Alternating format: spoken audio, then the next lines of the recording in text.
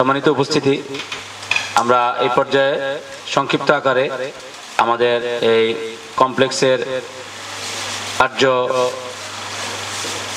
পরিচালনা নিয়ে এবং এই কমপ্লেক্স নিয়ে সামান্য কিছু আলোচনা রাখার জন্য সাইফুল ইসলাম শিমুলকে আমি অনুরোধ করব।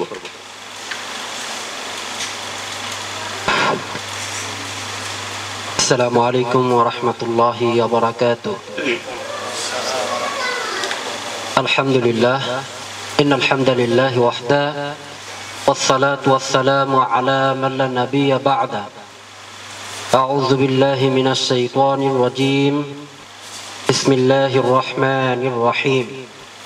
إنما يعمر مساجد الله من آمن بالله واليوم الآخر وأقام الصلاة وعطوا الزكاة ولم يخش إلا الله. فعسى أولئك أن يكونوا من المحتدين وقال النبي صلى الله عليه وسلم ابن مسعود رضي الله تعالى عنه قال قال رسول الله صلى الله عليه وسلم كل قرض صدقة رواه بيهقي যাবতীয় প্রশংসা যাবতীয় গুণগান একমাত্র আল্লাহ সুবাহ তালার জন্য যে মহান রব্বুল আলমিন আমাদেরকে সৃষ্টির সেরা আশরাফুল মাখলুকাত হিসেবে তৈরি করে পৃথিবীতে পাঠিয়েছেন একমাত্র তারই ইবাদত করার জন্য। সমস্ত প্রশংসাই সেই মহান রব্বুল আলমিনের জন্য যে মহান আল্লাহ সুবাহ তালা পৃথিবীর এই ক্লান্তিময় লগ্নে শত ব্যস্ততা এবং শত বালা বিপদ, আপদ, বালা মুসিবত থেকে হেফাজত করে মুষ্টি কয়েক কিছু ভাইদেরকে আমাদের আজকের এই পরামর্শ সভায় অংশগ্রহণ করার তৌফিক দান করেছেন সেই মহান রব্বুল্লাহ আলমিন, মহান রব্বুল্লাহ আলমিন। এর দরবারে জানাই লাখো কোটি শুক্রিয়া স্বরূপ। সকলেই বলি আলহামদুলিল্লাহ। দুরুদ সালাম পেশ করছি নবী মোহাম্মদ রসুল্লাহ সাল্লাহ আলী ওয়াসাল্লামের উপর। যে নবীর আদর্শকে বাস্তবায়ন করার জন্য যুগ যুগ ধরে আর এই সময়ে আমাদের কিছু মুষ্টি কয়েক ভাইরা একত্রিত হয়েছি সকলেই সেই নবী মোহাম্মদ রসুল্লাহ সাল্লাহ আলী আসাল্লামের উপর সংক্ষেপে দূরত পড়ছি। আল্লাহ সাল্লি আলাইহি আল্লাহ বারিক আলাইহি। সংক্ষিপ্ত কিছু আলোচনা আপনাদের সামনে করব, যেটা আসলে দায়িত্ব এবং কর্তব্য বলতে পারেন। মুসাববিন উমায় রাজি আল্লাহ তালা আনহু মসজিদ মাদ্রাসা কমপ্লেক্সের এই আজকের এই পরামর্শ সভায় যারা উপস্থিত হয়েছেন, আমাদের দাওয়াত গ্রহণ করে আহ্বানে সাড়া দিয়েছেন। সবাইকে আবারও মুসাহাব ইবনে রাদিয়াল্লাহু তাআলা আনহু মসজিদ এবং মাদ্রাসা কমপ্লেক্সের পক্ষ থেকে জানাই শুভেচ্ছা এবং অভিনন্দন। সম্মানিত তিনি ভাইরা আমার, এই চাঁদপুর জেলায় আমরা যারা বসবাস করি, দীর্ঘদিন যাবৎ তারা একটি বিষয় জানেন এবং যারা সঠিক দিনের দাওয়াত পেয়েছেন, সঠিক মানহাজ অনুসরণ করেন, তারা একটি বিষয় খুব ভালোভাবে অবগত আছেন যে চাঁদপুর, কুমিল্লা, নোয়াখালী এবং আশেপাশে যে কটা জেলা রয়েছে, শিরিক এবং বেদাতের যে ভয়াবহ রাস্তার উপর দিয়ে অতিক্রম করছে, এই বিষয়টা আমাদের সকলেরই জানা। কিন্তু এই শিরিক এবং বেদাত থেকে কীভাবে রুখতে হবে, কীভাবে বাঁচতে হবে, আমরা কে কি পদক্ষেপ নিয়েছি প্রথমেই সবার কাছে একটা প্রশ্ন ছুড়ে দিলাম যে আপনি এই শিরিক থেকে বাঁচার জন্য, বিদাত থেকে বাঁচার জন্য আপনি এবং আপনার পরিবার কি পদক্ষেপ গ্রহণ করেছেন? সম্মানিত উপস্থিতি। যদিও মনে অনেক আশা, আকাঙ্ক্ষা জাগে যে শিরিক দূর হয়ে যাক, বেদাত দূর হয়ে যাক, মুখে বললে কি হবে? হবে না।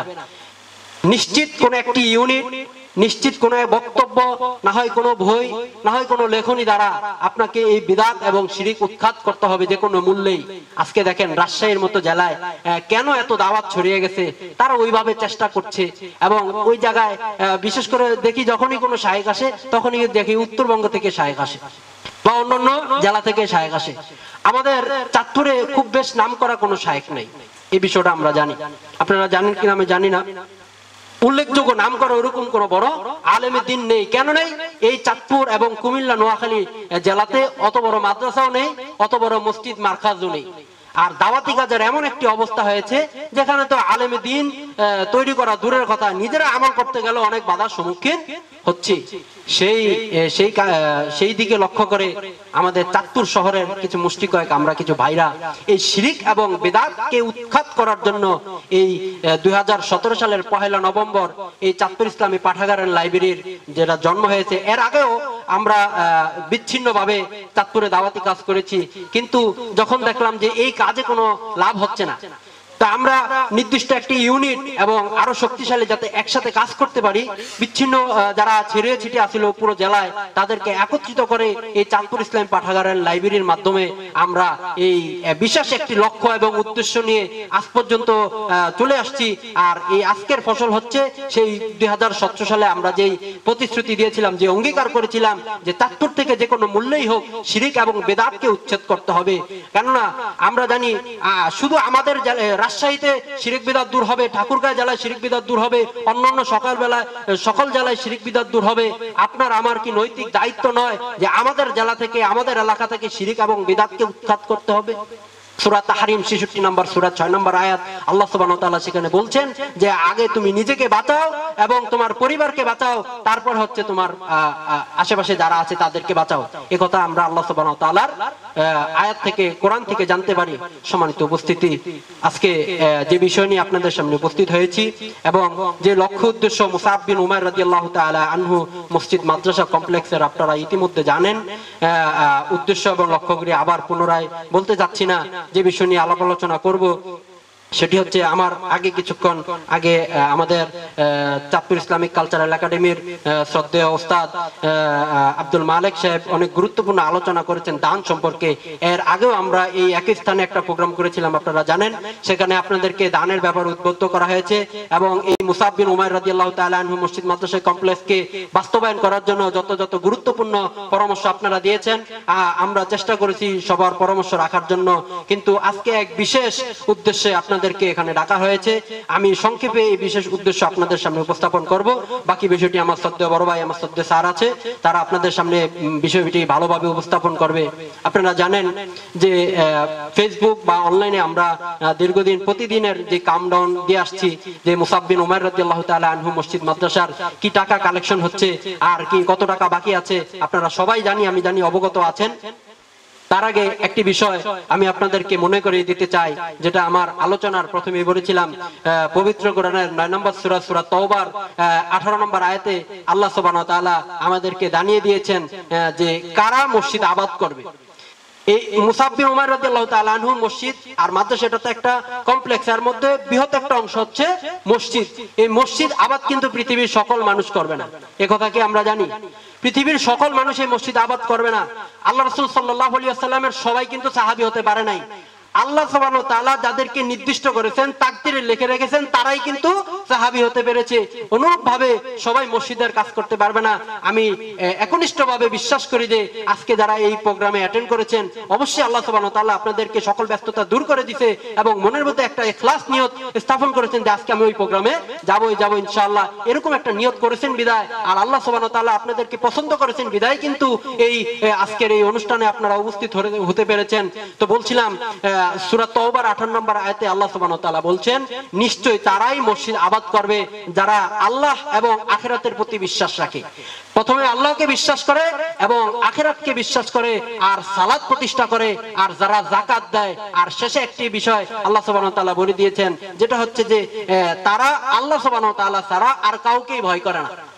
এই কথাটা আল্লাহ তাআলা সেখানে উল্লেখ করে দিয়েছেন।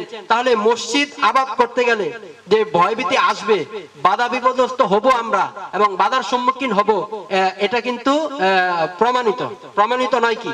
আপনারা যারা নিজ নিজ অবস্থান থেকে কাজ করছেন বা মসজিদে যাচ্ছেন বা যেটাই করছেন এবং আমরা আজকে দীর্ঘদিন চাঁদপুরে যারা কাজ করছি এবং আশেপাশের থানাও যারা কাজ করছেন, দিনই দাওয়াতি কাজ করতে গিয়ে অবশ্যই বাধা সম্মুখীন হচ্ছেন। আর এটা, এটাই প্রমাণ করে যে আসলে কাজ হচ্ছে বিদায় বাধা আসতেছে। শয়তান কিন্তু বসে নেই। শয়তান শয়তানের কাজ করে যাচ্ছে। তা আমি মনে করি আল্লাহ সব তালা আমার এই অধম, আমার এই ছোট্ট জ্ঞান মানুষেরকে এই মুসাব্বির উমার রাজি আল্লাহ তালা আনহু মসজিদ মাদ্রাসার আহ, কামেজি লাগিয়ে দিয়েছেন আমি নিজেকে অনেক সৌভাগ্য মনে করি যে আল্লাহ সুবাহ তালা আমাকে পছন্দ করেছেন। আমি একনিষ্ঠ ভাবে আল্লাহ সুবাহ তালাকে বিশ্বাস করি আখেরাতে বিশ্বাসী সালাদ প্রতিষ্ঠা করার জন্য চেষ্টা করছি এবং সামর্থ্য হলে জাকাত দেওয়ার চেষ্টা করব ইনশাল্লাহ এবং একমাত্র আল্লাহ সুবাহ তালা ছাড়া অন্য কোনো মানুষকে ভয় করি না পৃথিবীর কোনো মানুষকে ভয় করি না পৃথিবীর কোনো রাজা বাদশাহ কোনো শাসক কোনো সরকারকে ভয় করি না। শুধু আল্লাহ সুবাহ তালার কাজে কাউকে আমি ভয় করি না। আর এটাই হচ্ছে আল্লাহ সুবাহ জানিয়ে দিলেন যে মসজিদ কারা আবাদ করবে। তো আপনারা যারা মসজিদ আবাদে কাজে এগিয়ে আসবেন এই বিষয়গুলি অবশ্যই আপনাকে মাথায় রাখতে হবে যে কোন বিষয়গুলো আল্লাহ তাআলা বলে দিয়েছেন, আর তাহলে আমি মসজিদ আবাদকারীর মধ্যে থাকতে পারব।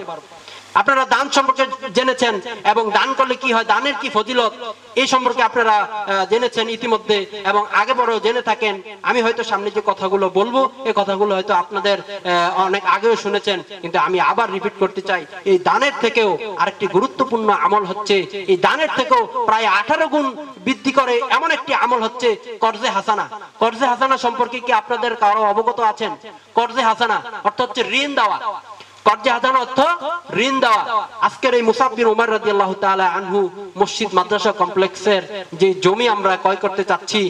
আপনারা জানেন যেটা চাঁদপুর সদরের বঙ্গবন্ধু সড়কে অবস্থিত।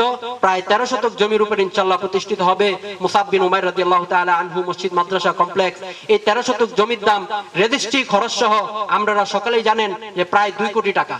প্রায় দুই কোটি টাকা। আমরা অদ্যবধি প্রায় পাঁচ মাসে, পাঁচ মাস যাবত যে টাকা কালেকশন করেছি এখন পর্যন্ত আমাদের কাছে সম্পূর্ণ টাকা আসেনি। এখন পর্যন্ত আসেনি, কিন্তু সময় রয়েছে মাত্র তেত্রিশ দিন। বাকি আছে, আপনারা জানেন, প্রায় পঁচাশি লক্ষ টাকার পঁচাশি লক্ষ সামথিং কিছু বাকি টাকা আছে। সময় আছে মাত্র তেত্রিশ দিন। আল্লাহ ওয়া চাইলে একদিনে এই টাকা আসা সম্ভব। সম্ভব কিনা? এখানে আসছে আর এক ভাই ফোন দিছে মালয়েশিয়া থেকে। আলহামদুলিল্লাহ, মালয়েশিয়া থেকে এক ভাই ফোন দিছে যে, ভাই আমি কিছু টাকা পাঠাতে চাচ্ছি আমার ভাইয়ের মাধ্যমে আপনাদের নাম্বারটা কি সঠিক আছে কিনা? তাকে দোয়া দিয়ে বললাম যে, আলহামদুলিল্লাহ, এটাই সঠিক নাম্বার, আপনি ঠিক জায়গায় ফোন দিয়েছেন আপনি সঠিক জায়গায় ফোন দিয়েছেন, টাকা পাঠাতে পারেন। আলহামদুলিল্লাহ, ভাইয়ের সামর্থ্য অনুযায়ী টাকা পাঠিয়েছেন। এইভাবে দেশ বিদেশ থেকে যেসব ভাইরা আমাদেরকে, অনেক দূর দূরান্ত থেকে ভাইরা, যেসব ভাইরা আমাদেরকে সহযোগিতা করে আসছেন, মন খোলা ভাইদের জন্য দোয়া করি, আল্লাহ সুবহানাহু ওয়া তাআলা তাদের এখলাসকে তাদের নিয়তকে পরিশুদ্ধ করুক এবং তাদের আয় রোজগারে বারাকা দান করুক, সম্মানিত উপস্থিতি, যেটা বলছিলাম কর্জে হাসানা কর্জে হাসানা কি? দান এত গুরুত্বপূর্ণ ইবাদত যে দান আল্লাহ রাসূল সাল্লাল্লাহু আলাইহি ওয়াসাল্লাম রাস্তা দিয়ে যাওয়ার সময় দেখছেন যে কবরে উনি তো বুঝতে পারছেন যে কবরে অনেক আগুন জ্বলতেছে আযাব হচ্ছে একটি কবরে। রাসূল সাল্লাল্লাহু আলাইহি ওয়াসাল্লাম সেখানে দাঁড়িয়ে গেলেন, সাহাবীরা জিজ্ঞেস করলেন, কেন দাঁড়িয়ে গেলেন রাসূলুল্লাহ সাল্লাল্লাহু আলাইহি ওয়াসাল্লাম? সে বলল এইটি কার কবর? খুব আযাব হচ্ছে এই কবরে। তখন এক সাহাবী বললেন, এটা অমুকের কবর। তখন তাকে বলল তাকে বলল, তাকে দান করতে। দান করলে যে কবরে আযাব মিটিয়ে দেয়, উকবা বিন আমির রাদিয়াল্লাহু তাআলা আনহু তাবরারির বর্ণনায় পাওয়া যায় উকবা বিন আমির রাদিয়াল্লাহু তাআলা আনহু বলছেন, রাসূল সাল্লাল্লাহু আলাইহি ওয়াসাল্লাম বলেন, দান হচ্ছে এমন জিনিস যেটা হচ্ছে কবরের আগুনকে দান করা মাত্রই নিভিয়ে দেয়। দান হচ্ছে এত কঠিন জিনিস। সেই দান থেকেও কঠিনতম কঠিন 18 গুণ বৃদ্ধি করে যে সওয়াব, সেটি হচ্ছে কর্জে হাসানা। সেটা আপনি যদি নেকের নিয়তে, আমলের নিয়তে এবং আপনার নেকির উদ্দেশ্যে আপনি যদি কাউকে কর্জে হাসানা দেন যত দিন পর্যন্ত তার কাছে কর্জে হাসানা থাকবে তত দিন পর্যন্ত আপনার নেকি হবে এবং দান করার থেকেও দান করার চেয়েও আঠারো গুণ বৃদ্ধি নাকি আল্লাহ ওয়া এই কর্জে হাসানা দেওয়ার জন্য আপনাকে আল্লাহ ওয়া দান করবেন? সম্মানিত উপস্থিতি, এই কর্জে হাসানার বিষয়টি কেন আসলো? সেটি আপনাদের সামনে পরিষ্কার হওয়া দরকার। সম্মানিত উপস্থিতি, আমাদের মসজিদের, এই মসজিদের জায়গার জায়গার বাইনারি রেজিস্ট্রি করার সময় খুব সংকীর্ণ, মাত্র তেত্রিশ দিন হাতে রয়েছে। এর মধ্যে আল্লাহ ভালো জানে এই পঁচাশি লক্ষ টাকা সামথিং আমাদের কাছে আসে কিনা আমরা জানি না। তবে আমরা বিশ্বাস করি যে অবশ্যই আসবে। তবে আমরা মালিক পক্ষ যে যাকে কথা দিয়েছি, যে তেত্রিশ দিন পরে আমরা জায়গা জমি রেজিস্ট্রেশন করব, তাকে যে অঙ্গীকার দিয়েছি, কথা দিয়েছি, প্রতিশ্রুতি দিয়েছি, এই প্রতিশ্রুতি রক্ষা করার জন্য আমরা আগে থেকে কিছু সতর্ক ভাবে যদি আমাদের টাকা ম্যানেজ না হয়, যদি আমাদের টাকা নির্দিষ্ট টাকা আমাদের হাতে না আসে, দান না আসে, তাহলে আমাদের করণীয় কি? আর যেহেতু এটা একটা বিশাল প্ল্যাটফর্ম এবং সকলের পরামর্শে এবং চাঁদপুর, বিশেষ করে চাঁদপুর জেলার বিভিন্ন থানার পরামর্শে আমাদের আরও অনেক ভাইয়ের এবং এবং অনেক শাহেকের পরামর্শে আমাদের এই মসজিদ প্রতিষ্ঠিত করব। এই জন্য আপনাদেরকে ডাকা হয়েছে। এই জন্য আপনাদের কাছ থেকে পরামর্শ নেওয়ার জন্য ডাকা হয়েছে। আবারও যদি আমরা নির্দিষ্ট সময়ে টাকা ম্যানেজ না করতে পারি, তাহলে প্রত্যেকেই প্রত্যেকের জায়গা থেকে যদি এই মুসাব বিন উমাইর রাদিয়াল্লাহু তাআলা আনহু মসজিদ, মাদ্রাসা কমপ্লেক্সকে কর্জে হাসানামূলক এক লক্ষ টাকা অথবা দুই লক্ষ টাকা আপনি কর্জে হাসানামূলক আমাদেরকে মসজিদের জায়গা রেজিস্ট্রি করার জন্য দিতে পারেন, তাহলে আল্লাহ ওয়া তাআলা হয়তোবা আমাদের এই কাজকে খুব সহজভাবে সহজ করে দিবেন এবং নির্দিষ্ট সময়ে ওই মালিক পক্ষকে দেওয়া প্রতিশ্রুতি রক্ষা করার তৌফিক দান করবেন। আর যদি ইতিমধ্যে আমাদের কাছে টাকা চলে আসে, তাহলে তো আর কর্জে হাসানার প্রয়োজন হবে না। তবে আমরা এর আগেই এর আগেই আমরা একটা প্রস্তুতি নিতে চাচ্ছি যে কর্জে হাসানা দিয়ে হলো আমরা মসজিদকে, মসজিদের জায়গা রেজিস্ট্রেশন করব ইনশাআল্লাহ। আর বিশেষ করে এই লক্ষ্য উদ্দেশ্য নিয়েই আজকে আপনাদের সামনে উপস্থিত হয়েছি। যারা দূর দূরান্ত থেকে এসেছেন, কষ্ট করে এসেছেন, কষ্ট নেবেন না। আমি শারীরিকভাবে একটু অসুস্থ তারপরে আজকের এই প্রোগ্রাম, যেহেতু নিজের প্রোগ্রাম উপস্থিত হয়েছি, সবাই আমার জন্য আন্তরিকভাবে দোয়া করবেন এবং মসজিদ মুসাফির উমার রাদিয়াল্লাহু তাআলা আনহু মসজিদ এবং মাদ্রাসা কমপ্লেক্সের জন্য দোয়া করবেন এবং নিজ নিজ নিজ নিজ জায়গা থেকে যেভাবে পারেন, যেভাবে আপনার মনে আসে যে এইভাবে বাস্তবায়ন করলে হয়তোবা মসজিদের কাজটা হবে, সহজ হবে। কারণ এই মসজিদ আমার একার না, এই মসজিদ আপনার একারও না। এই মসজিদ হচ্ছে তাজপুর জেলার, এই মসজিদ হচ্ছে সারা বাংলাদেশের, এই মসজিদ হচ্ছে যারা আনাচে কানাচে পৃথিবীতে যত সহিয়াকিদার মানুষ রয়েছে আহ, দিনী দাওয়াতিকাদের একটা অন্যতম প্ল্যাটফর্ম হচ্ছে এই মুসাববিন উমার রাদিয়াল্লাহু তাআলা আনহু মসজিদ মাদ্রাসা কমপ্লেক্স। সবার নিকট এই আশা এই আকাঙ্ক্ষা ব্যক্ত করে এবং কি আপনাদেরকে দানের এবং কর্জে হাসানার উদ্যত্ত আহ্বান রেখে আজকের এই সংক্ষিপ্ত বক্তব্য এখানেই শেষ করছি। সুবহানাকাল্লাহুম্মা বিহামদিক আশহাদু ইল্লা আনতা আস্তাগফিরুকা ওয়া ইলাইক। আসসালামু আলাইকুম ওয়া রাহমাতুল্লাহি ওয়া বারাকাতুহু।